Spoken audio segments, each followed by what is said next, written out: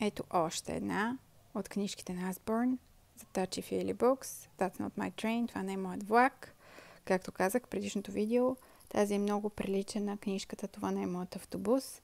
Подобни са елементите и повърхностите, затова може да вземете само една от тях. Не е нужда да взимате и двете. Ето как изглежда сега книжката. Това не е моят влак. А колелата му са твърде мачкащи се. Това не е моят влак. Прозорците му са твърде лъскави. Ето тук, като огледало на повърхността. Това не е моят влак. Коминът му или тръбата за дим е твърде ръждив. Това не е моят влак. Отстрани е с много бабуни. Това не е моят влак. Покривът му е твърде груб. Това е моят влак.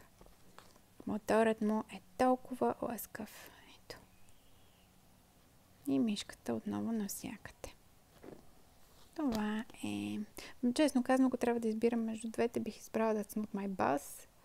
Uh, вероятно, защото ние пеем тази песничка The Wheels on the Bus Go Up and Around and Round и така нататък. И uh, мога да показвам по самата книжка различните елементи от автобуса. Ако сте англоговорящи или живеете в чужбина, вероятно знаете за коя песничка говоря. Това е.